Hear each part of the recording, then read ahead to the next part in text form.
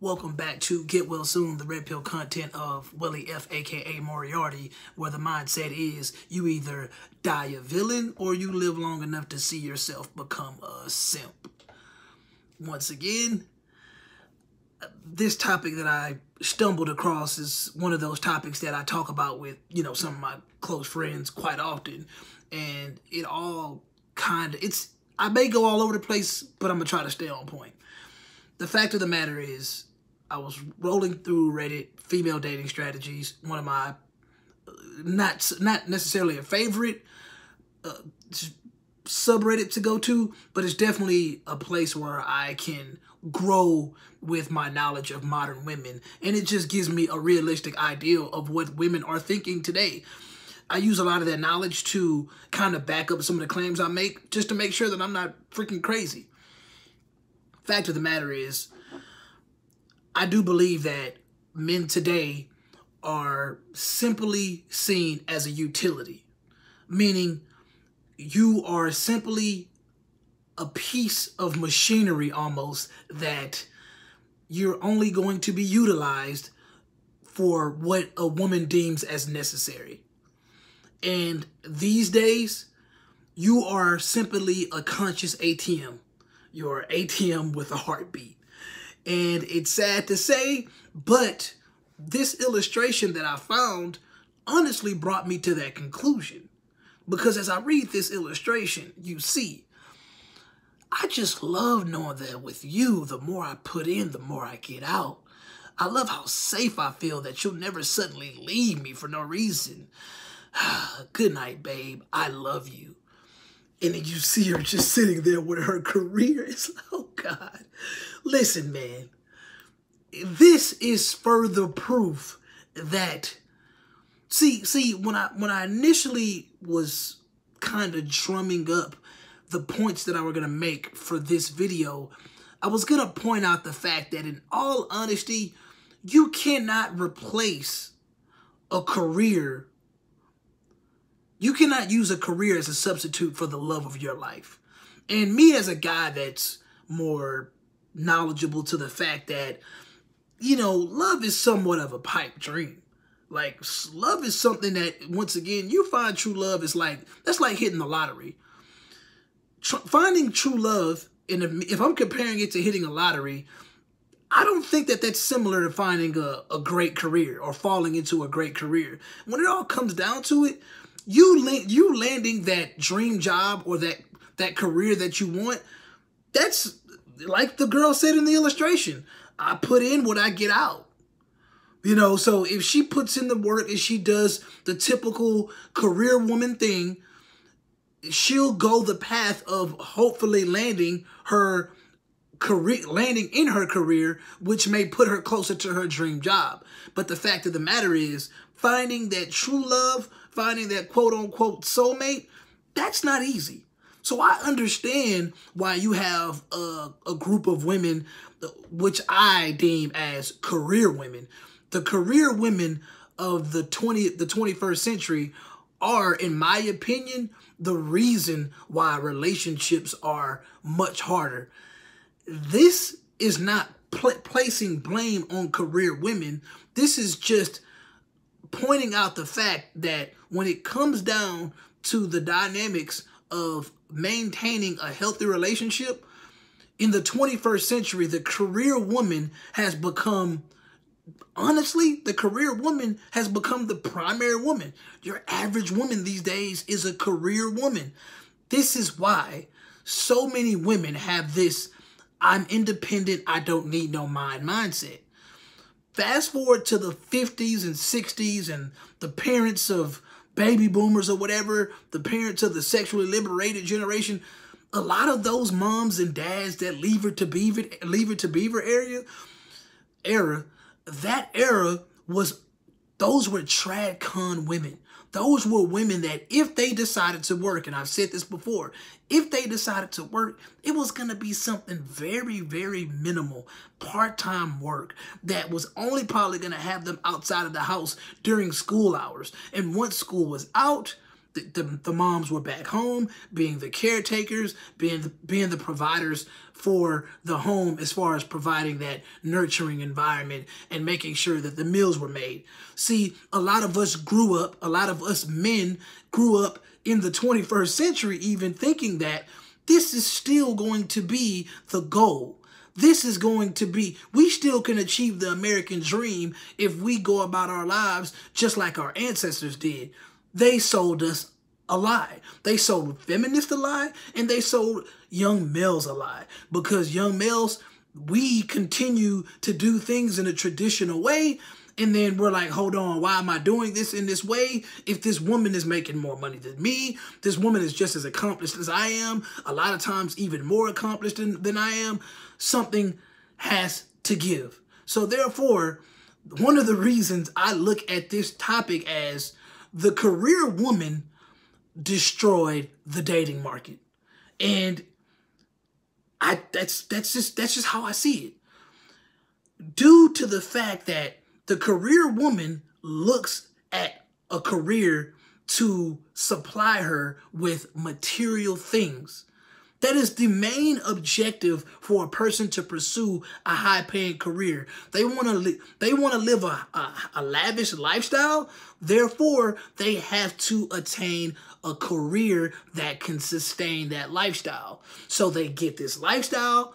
They end up, and what ends up happening is they they they do what they're told because women follow. Women are good at following instruction, especially if the instructions are going to lead them to the promised land, which in, in, in, the promised land in this case is the American dream. In my personal opinion, we're just looking at the typical ideal of what the American dream is. The American dream is getting that career job, getting that nice car, being able to buy the clothes that you want, being able to go on three or four vacations a year, so on and so forth. A lot of things, a lot of things and material, a lot of material things, a lot of external things to validate the fact that you have this career. See, the way women look at careers is the same way a woman is going to look at a man a man is supposed to be there to provide the I provide that lifestyle, just like Cristiano Ronaldo. He's supposed to be there to fund your lavish lifestyle that you want because we know that most women in America are consumers. That is what they do best. Chris Rock said it. Women be shopping, women be shopping, women be shopping. And the fact of the matter is, that is never going to change. That has been the reality of first world women since the 70s and 80s. Like, the proof is in the pudding. It's not really up for debate. And once again, this is not blaming career women for the the um uh, the problems in relationships i'm blaming society for encouraging the career women to put careers on top of what actually matters.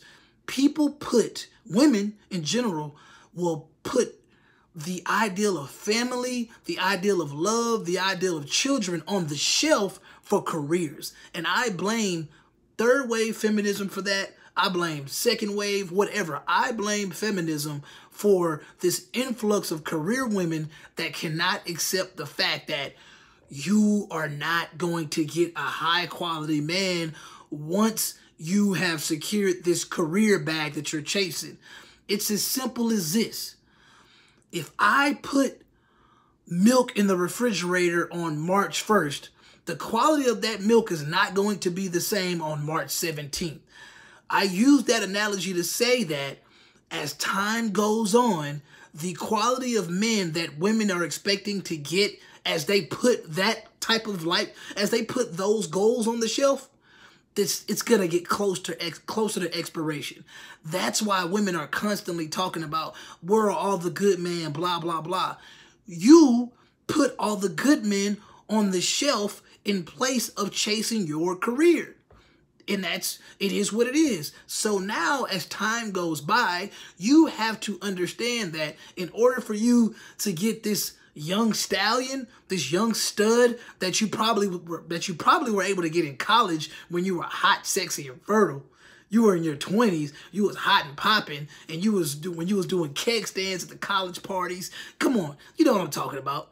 In that time, when you were when you should have been when you were focusing on college and then you were balancing the party life instead of being in college and focusing on making sure that you can establish a relationship with a good man.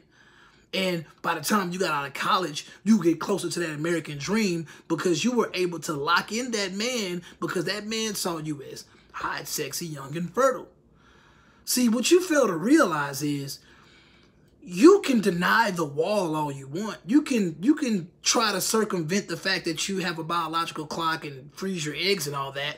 But once again, as you're in your mid 30s and you're piling your face with all this clown makeup, all you're doing is further insinuating the fact that you need to do more in order to increase your sex appeal because you know that men ain't looking your way.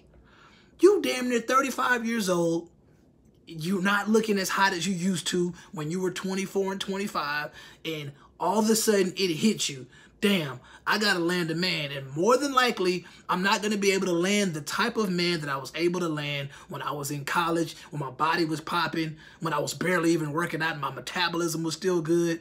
Now my thyroid's out. I'm on antidepressants. I'm do come on. Come on. Men aren't stupid. But luckily for y'all, it's a bunch of blue pill beta koi beta soy filled cucks out there that are willing to give you their seeds, even though they know that more than likely the, the health of this child is not going to be as great as it was when you were younger, fertile, and your eggs were better. And that's a conversation I don't need to necessarily get into, but you guys know what's up. You all want to chase this American dream. You want to you think that you have the American dream at the palm of your hands because you're reading you're reading this feminist manifesto that's telling you you independent, you a boss chick, you don't need no man. But guess what? The fact of the matter is a lot of y'all stay bitching and complaining on social media because y'all can't find a good man. If you young, bossed up, independent, you don't need no man. What you looking for a man for now? Go get you a woman. This is why I am the way I am because I know what women bring to the table. I don't hate women. I just understand them. So therefore, when I when I, when I'm when I'm in when I choose to entertain women, I know exactly what I'm to get out of them. I know what type of women to I know what type of women are to bring what type of headache. you know, basically. But one I tried to do some a lot of research on this subject before well not even necessarily research, but I tried to do a little digging and I think the the only the only reasonable thing that I found was this this art this uh, blog post by uh, Emily from Gamer in a she she has a blog post called Gamer in a Gown, and I'm gonna put the link in the description. And I think this was an honest approach to realizing that yes, careers are important, but if I give a damn about love, then I'm going to try to make it work. And the fact of the matter is, most women that have adopted the uh, feminist mindset and it's overhauled their life, they don't see value in partially sacrificing their career in order to establish a man. On this blog, she gives some TV comparisons to why it kind of sucked that women put themselves in that position. But once again, I'm gonna say it, I'm gonna say it like this: finding true love is like winning the lottery. So if you think that you found it, then you're to do what you need to do to risk it. If a person really values you and they think that your love is bringing something to their life that is filling this hole, because everybody kind of has these holes in them, and they try to use different things to to to fill those holes. But I'm telling you now, that that that that hole that that you need, that your family, your friends, and your closest companions bring, that type of quality of love, that unconditional love that they bring, that's the type of love you're searching for. You may not know it, but that's the type of love you're searching for because that's the only type of energy that can fill that hole. So this girl, Emily, she was, she was, life gave her an ultimatum. And the ultimatum was, hey, you're here in Austin, Texas, but we have this dream job for you in Dallas. She's in a relationship with a guy she loves, and she realizes that, hey, I'm taking this job no matter what. Like this is a this is a, my dream job. If I gotta lose this guy for my dream job, it is what it is. But let's try to make it work first. And I think in my in my heart that okay, I don't I don't believe in long distance relationships, but I'm I'm I mean I'm a I'm a fan of effort. And the fact of the matter is women like Emily are are least attempting to show like, hey, I'm not just I'm not putting you on the shelf, but this is a possibly a once in a lifetime opportunity because once again, women tend to look at careers the same way they look at men these days. They know it's it's not easy to find a good man. Just like they know it's not finding a dream job or landing that that dream job or career is not, you know, necessarily that easy. But in my opinion, I think finding a dream job or landing that dream job is it's it's a lot more the probability on landing that dream job is a lot higher than you getting married and lasting forever. That's my opinion though. I could be wrong because when I look at the fact that I have a lot of friends that are working in nice jobs. They don't really complain about their job, so it is what it is. But when it comes to people complaining about their marriages, oh, I hear complaints about marriages on a day-to-day basis. And that's that's from people that I barely even know that complain about their marriages. It's funny because I think that people that complain about their marriages are obviously they're more comfortable complaining about their marriages to people that aren't really close to them. Because most of the guys that I know that are married aren't really telling me their their personal biz. At the end of the day, they're just they're going through the motions as far as I know. Everything seems cordial until some shit hits the fan. And the statistics show that in between 8 and 12 years, shit starts to hit the fan. Bottom line, in the end, I just think it's an unhealthy mindset being pushed by modern day thinkers, specifically today's feminists. This is specifically what creates the I'm single, I don't need a man attitude. And if you never need a man to begin with, as far as I'm concerned, then don't chase him because you have to understand something. If you didn't need a man today, you've been knowing that because over 50% of millennials today were probably born in single single single parent homes with a single mom. So women are clearly aware that they can do it without a man present. So this whole I don't need no man mentality, that's something that you should have known when you were 9 years old. So if you're just coming to that conclusion and you're almost 30, then so be it. But I say all this to say you cannot replace a career with, with you cannot substitute love with this career. It's not the same. But unfortunately, gentlemen, when you're dealing with females, they pretty much look at it as the same as you saw in the illustration because if if my career is if my man's not willing to provide, if this love of my life is not willing to be a provider for me, send me on vacations and do this and do that, then guess what? My career is going to do it for him. So bye-bye, man.